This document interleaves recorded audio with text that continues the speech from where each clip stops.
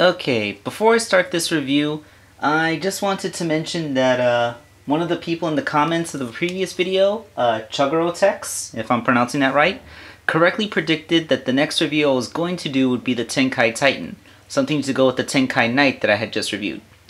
Uh, but then this thing arrived in the mail. I had ordered it a, couple, a couple of... I, I ordered it like uh, late last week, and I didn't think that it would arrive so soon. And well, you know, this just something that I've been wanting for such a long time. That's right, it's Rouge the Bat in plush form.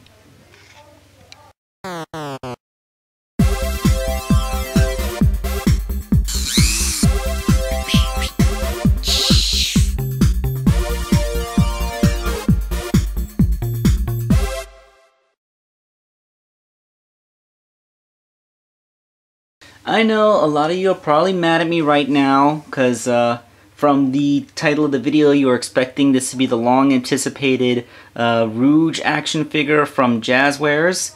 Um, I did find out that that thing is in principle supposed to be turning up already and should have been at least since December 28th when the announcement was made on Facebook. But not only have I not seen it in stores, but I also looked in all the places I could think of online, like um, Toy Toy Island or um, uh, eBay, Amazon, Sonic Merchandise, you know, all those places, and I couldn't find so much as a preview image. I did, however, stumble across a website called uh, CircleRed.com that had the Rouge plush available for only $12.99. Um, I had only ever seen this figure for sale for like 20 odd bucks plus shipping, which would make her too expensive for me. But uh, the 11 inch Rouge figure for that price, I just couldn't resist it. So I only have this figure because I went searching for the Rouge action figure. And yes, yes, the old Toy Island Rouge figure is still $200. So even though that's one of my holy grail figures, I still don't quite think I'll be getting her anytime soon. Okay, so here is the plushie close-up.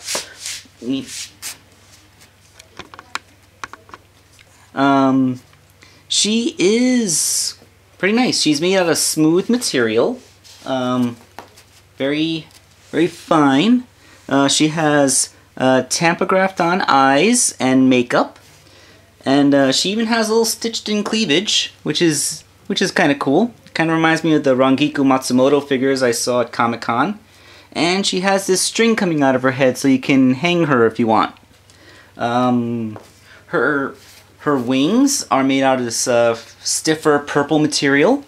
Um, although they have this crease that I think they're supposed to come out like this. See? Like that. But they keep folding in on themselves.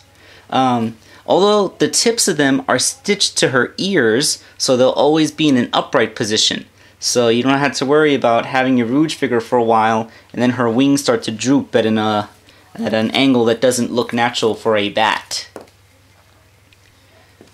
Uh, yeah, she has individually stitched fingers, which is very nice. Um, and she has some pretty thick legs that uh, are relatively stiff.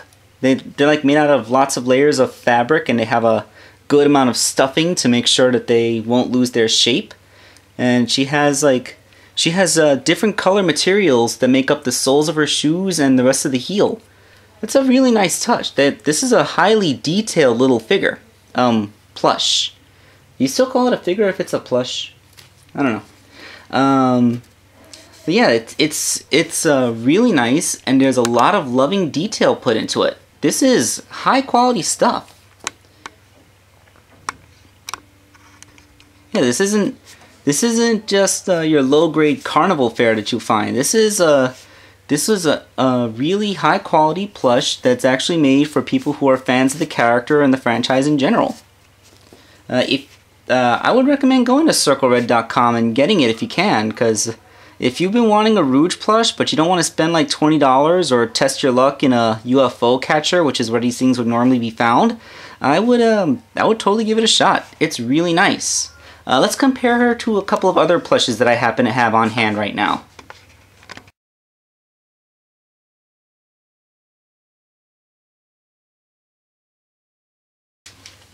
Okay, so the Rouge figure is made by a company called um. Uh, let me let me read the tag here. It's uh, Great Eastern Entertainment. That's the company that makes the figures in this style. Um, this is one of my favorite Sonic plushes. I got this one in a in a claw machine at Rye Playland a few years ago. It's made by um by a different company called uh Toy Network LLC. Um, this Sonic plush is nice. It's it's really nice. Uh, they they they went into the same kind of loving detail, and it's a great looking Sonic plush. There's just a few differences aesthetically. Um, it's not that one is better than the other. It's just that they have uh, the they're different. Uh, one thing, if you look at Sonic's hand, he only has four fingers. Well, they made sure to give Rouge five fingers. Um, also, if you look at the types of fabric, I'm not sure how well this is going to show up on the camera, but um, Sonic is fuzzier than Rouge. He's made out of a softer kind of plastic, the kind that you would actually want rubbing against your face. I think they actually did intend for little kids to sleep with this at night, because it's so cuddly. And that's another thing, he's a little, uh, he's still well stuffed, but he's a little softer and floppier than Rouge is, and so he can't stand he collapses under his own weight. Um, also, instead of having tampographed eyes, his eyes are buttons. He has... Hey! Hey, stupid tripod. Yeah, he has uh, actual plastic button eyes. Yeah. Like, like I said, this doesn't mean that one is better than the other. They're just two different styles of making a plush. I do have other plushies that have been made by Great Eastern Entertainment. Here's Here's one of classic Amy. Uh, she's a bit of a smaller figure. Um, she She's done in very much the same style as Rouge. She has a smoother fabric, tampographed eyes and mouth. Um, although this one, it's been made with these swinging legs. Like, you can see when they're where they're stitched in up there, they're stitched in with a very flat seam rather than being a round seam like what Rouge has. Um, this is probably so that the figure can look nicer when it's sitting Mm-hmm. Because she can sit really nicely. Or maybe it's just so that, um, like, if you hung her up, like, off your rear view mirror, as your car moved around, her legs would animate around. Although I, I wouldn't recommend putting a figure this big on your rear view mirror because it might count as a viewing obstruction.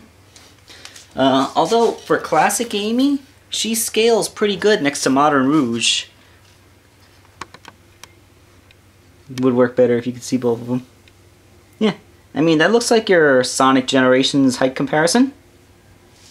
Okay, so, it's kind of weird reviewing a plushie on this channel, because um, if I was talking about a Transformer, I could talk about its various modes and its transformation, or if I was even talking about a regular action figure, I would talk about uh, articulation and stuff. But with a plush, once you get past how it looks and the, and the, the quality of its construction, there's really not much to talk about. So, I think that this is a good place to end the video. Uh, the Rouge plush is very nice. And yes, I do have a collection of Sonic the Hedgehog plushies. I have just about every character that I could care to have. Um, may as well list them off. Uh, Sonic, Knuckles, Shadow, Tails, um, Amy, I also had the classic Sonic and Tails plushes that were actually made in the early 90s when I was a little kid. Um, I have a Cream the Rabbit made by this company. I also have a Knuckles made by this company. Um, I have the little the little white wisp plush that they gave out at Comic Con a few years ago um, as a freebie for anyone who showed up at the Sega booth dressed as a Sega character. Um, huh. I think that's it. Oh, yeah, yeah, I have a Supersonic plush. Uh, a friend of mine gave it to me for my birthday. Yeah. If you guys want to see those plushes, uh, just let me know. Maybe I'll do a quick video montage. But, um, you know, there it. I don't do plush reviews on this channel. And that's just a little quiet collection I have. It's not something I even keep displayed. Well, ex except for that one Sonic plush that I always keep on top of my comic book collection. But that's just because he's my quintessential Sonic figure. Alright, alright, I, I talked too much. This is Toy Customizer Wake Angel 2001, and I'm signing out.